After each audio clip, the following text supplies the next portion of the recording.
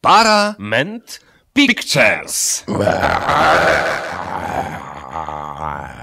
Prezent ują kulisy srebrnego ekranu.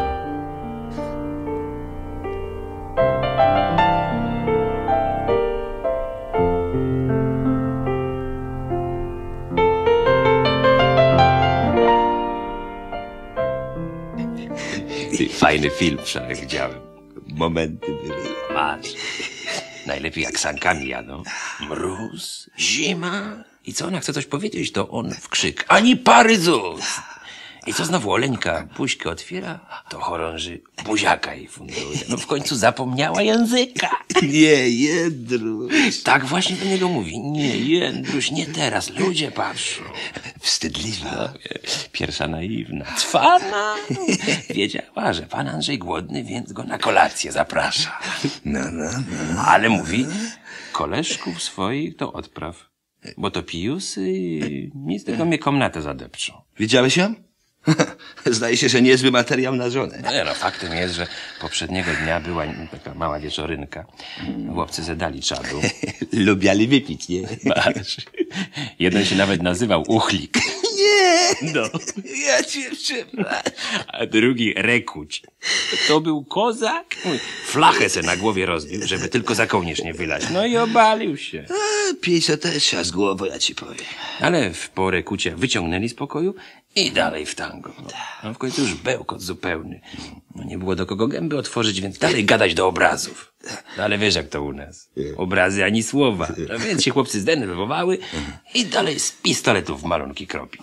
A potem szablami resztę pocięli i w tanej ze sprzątaczkami. To na bogato było. No, to i dziwisz się, że Oleńka nie chciała ich do siebie zaprosić? No nie dziwię się, ale mogła to jakoś mm, delikatnie załatwić. No, chorąży. Nie, nie Też- lubię chamstwa. No, ale no, to nie wiedział, co odpowiedzieć. Patrzył na Oleńkę, ale widzi, upita, pali się. No. A ta kiedy zdążyła? Co? No upić się. No, no mówiłeś, że Oleńka upita i pali się do Jędrusia. Nie, nie, nie. Taka miejscowość upita i tam pożar wybuchł. No więc pan Andrzej pożegnał Oleńkę, w drugie sanie skoczył i na woźnicę huknął. Do upity! Fajna nazwa.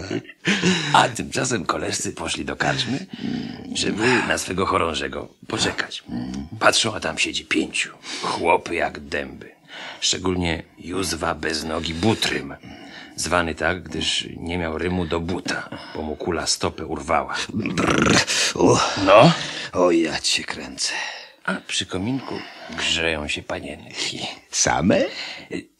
No, no ta, no bo wiesz, przemarzły. No, koledzy Jędrusia zaczęli je podrywać. No i doszło do aferki z butrymami. No, naparzana była nie z tej ziemi. W końcu butrymy ukatrupili wszystkich. Na śmierć? Na śmierć.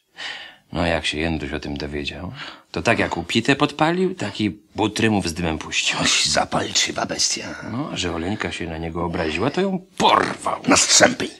Nie, nie, na koniu. O, jak się ludzie o tym zwiedzieli, dalej w pogoń. Dowódcą był taki nieduży pułkownik z wąsikami. Dostali cynk, że chorąży panny w Lubiciu trzyma. A, Lubicz to oni jego nie lubili, tym bardziej, że no, znowu kozaków zaangażował do porwania. Więc skradają się, Tak. a deszcz leje, jakby się chmura oberwała. I to mała, bo duży deszcz. Niektórzy przed deszczem schronili się do jeziora, bo Lubicz był na wysepce, no więc wleźli do wody, tylko takie rurki wystawili, żeby mieć czym oddychać. W końcu dotarli do bramy, straż rozbroili i do środka. Ale Jędruś też nie był głupi. Zabarykadował się z Oleńką w chałupie i mówi jak mnie wolno nie puścicie, to pannę wysadzę. Tak powiedział? No bo miał beczkę z prochem i zapałki pod ręką. Eee, nie, bo ja myślałem... No ale też pułkownik mówi, dobra, chodź ze mną bracie na pojedynek. Jak wygrasz, jesteś wolny. Słowo. No więc Jędruś wyszedł i się zaczęli naparzać. A deszcz leje, koszule im przemokły, wszystko. No ale widać, że pułkownik jest lepszy w te klocki. Już raz szable chorążemu wytrącił. Podnieś, mówi. A ja. I dalej się z nim bawi. No. Tak. Świetny pojedynek. Długi. W końcu Jędruś musiał widocznie powiedzieć reżyserowi kończ już wstydu oszczędź, bo krew go zalała i padł. A deszcz leje. Już myślałem, że to będzie ten potop. z tytułu nazwy. No. Ale nie, przestało padać i do końca już była pogoda. Potop. Ej, oni w ogóle czasem jak wymyślą tytuł, to nie go w pięść, nie go w oko. Tytuł ma informować, co jest grane. A co mnie mówi nazwa popioły, a, czy iluminacja? A jak czytam tygrysy na pokładzie, czy jak się młody noszty żenił, no, no to wiem na jakim świecie żyje. Takie tytuł, ważna rzecz. Nie można tak na łapu capu orzeł, żreszka. No to trzeba mieć trochę pomyślunku. No ale ma być druga seria tego, tego potopu. Może się co wyjaśni. Może. No, w każdym razie Jędruś przeżył. Tylko ranny był, ale się niedługo wykurował. A w tym czasie Szwedy najechali na Polskę. Hotele budować? Tak. Nie, nie. Wtedy oni byli biedniejsi od nas, więc chcieli się obłowić. Łobuzy, no. Oczywiście. No ale Polacy zebrali się, żeby bronić przed Szwedami naszego króla, Jana Kazimierza, który też był Szwedem. Ach ty karaj. Nie, nie. Karol to był brat Jana Kazimierza, król szwedzki, który napadł na Polskę. Nie kapuje. no, no bo to była dynastia Wazów, no. A Głównodowodzącym został książę Janusz Radziwiłł. Zły człowiek, chorobliwie zazdrosny o żonę. Ciągle tego zdradę wietrzył i do każdego młodego mówił, panie kochanko. A miał młodszego brata, Bogusława. Mm, Śliczny facet. Ubrany, wyperfumowany, elegancja Francja.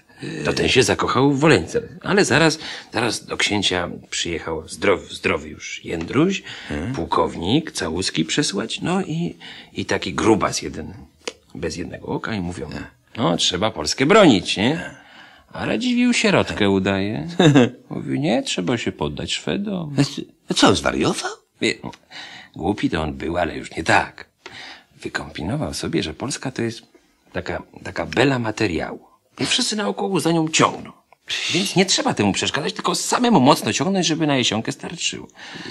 No to nasi rycerze wyjęli z tornistrów buławy i rzucili Radziwiłłowi pod nogi.